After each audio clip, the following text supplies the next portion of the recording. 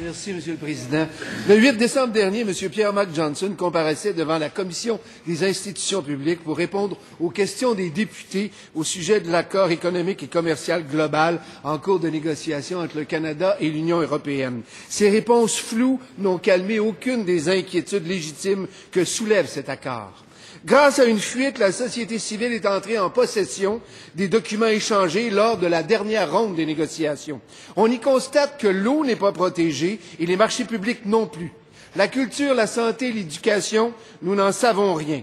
Par exemple, le gouvernement a protégé le monopole de la Société des alcools, mais est-ce qu'il a protégé sa capacité de nationaliser en tout ou en partie l'exploitation des ressources naturelles? Nous n'en savons rien. Tout se déroule derrière des portes closes de façon occulte. La démocratie exige que le gouvernement rende public les secteurs de notre vie québécoise que le Canada négocie actuellement avant que cet accord ne soit signé.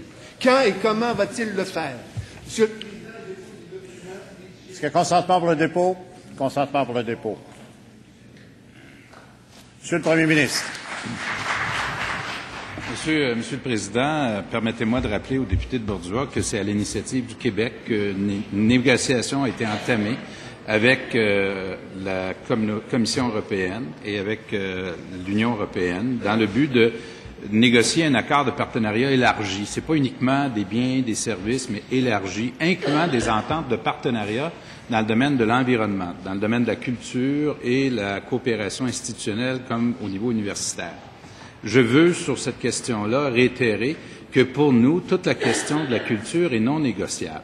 C'est non négociable. Alors, on a fait de longues batailles là-dessus. On a fait ça ensemble ici à l'Assemblée nationale. Je dois dire avec le Parti québécois, Monsieur le Président, avec le gouvernement fédéral également, et avec le gouvernement français pour donner naissance à la Convention sur la protection et la promotion de la diversité, euh, de l'expression des diversités culturelles. Nous avons donc euh, l'intention, pas uniquement l'intention, mais un principe très ferme que nous défendons dans les négociations. Pour ce qui est des ressources naturelles, en particulier l'eau, c'est non négociable non plus. Il n'est pas du tout question pour nous de commercialiser justement les ressources naturelles qui nous appartiennent dans le cadre d'une entente commerciale. Et donc, euh, nous allons protéger pleinement ce qui nous appartient, Monsieur le Président. Maintenant, on est dans le dernier droit des négociations. Il y aura de la réciprocité dans ce que nous entreprenons. Ce qui est intéressant pour nous du côté européen, c'est que ça représente un, un marché de 500 millions d'habitants. C'est le marché le plus riche au monde. Principal partenaire économique de la Chine, par exemple. Alors, c'est un marché qui est riche, en difficulté actuellement, mais qui, sur le long terme, va être un marché intéressant pour nous. Et on va travailler avec vous pour s'assurer qu'on protège nos intérêts là-dedans. Bravo. Première complémentaire, M. le député de Bordua. Évidemment, je ne parlais pas uniquement de la culture, Monsieur le Président, mais pour faire du plan Nord sa nouvelle locomotive électorale, on sait que le Premier ministre a besoin de cet accord, qu'il a besoin de la loi des mines. Mais personne n'est dupe. Il y a certaines dispositions de l'accord, comme la prescription de résultats, qui vont empêcher la maximisation des retombées économiques et sociales du plan Nord. Ce néolibéralisme-là est assez insolent et sera certainement pas au profit de la population. Alors je demande au profit de qui? Pourquoi le gouvernement refuse-t-il d'être transparent? Monsieur le Premier ministre. Euh, les... L'idée, de la négociation avec l'Europe a commencé avant le lancement du plan Nord et l'idée, le moteur derrière ça, la volonté derrière ça, c'est de créer un nouvel espace économique pour le Québec. Pourquoi? Parce que notre économie est très dépendante sur les marchés extérieurs. À 8 millions d'habitants au Québec, nous avons besoin d'avoir accès à des marchés extérieurs pour maintenir notre niveau de vie. On est très dépendant du marché américain. Un marché qui est riche, bravo, mais on a besoin d'ailleurs de diversifier. D'ailleurs, si vous allez voir les derniers chiffres d'exportation, le Québec exporte davantage vers l'Europe. On est un peu moins dépendant des États-Unis. Alors, c'est ça l'idée. C'était pas le plan Nord au départ, c'était ça l'idée. Et le plan Nord est pas, vient pas conditionner les négociations avec l'Europe. Et le plan Nord, c'est un projet de développement pour tous les Québécois, Monsieur le Président. Deuxième complémentaire, Monsieur le député de Bordua. Le gouvernement actuel perd quand il demande le transfert des données du registre des armes à feu.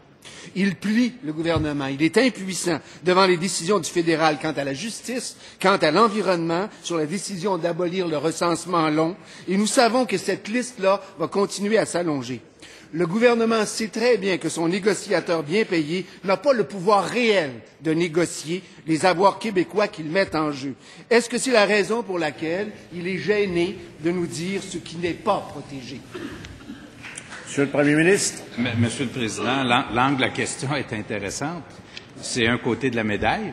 Je lui euh, propose de regarder l'ensemble du portrait si on fait l'ensemble du portrait, il reste toujours que dans les, euh, les, derniers mois, on a négocié une entente très importante sur la propriété de nos ressources naturelles dans le golfe du Saint-Laurent, l'entente Oldari, qui est un grand succès. Le ministre des Finances a négocié une entente très importante sur la modernisation de la TPS, la TVQ, qui nous transfère 2,2 milliards de dollars. Et pas plus tard que le 22 décembre dernier, à nouveau, grâce au leadership du ministre des Finances, nous avons gagné une cause très importante devant la Cour suprême du Canada qui rappelle le au gouvernement fédéral, conservateur, à ses devoirs sur la pratique du fédéralisme, Monsieur le Président. Ça, c'est défendre les intérêts du Québec.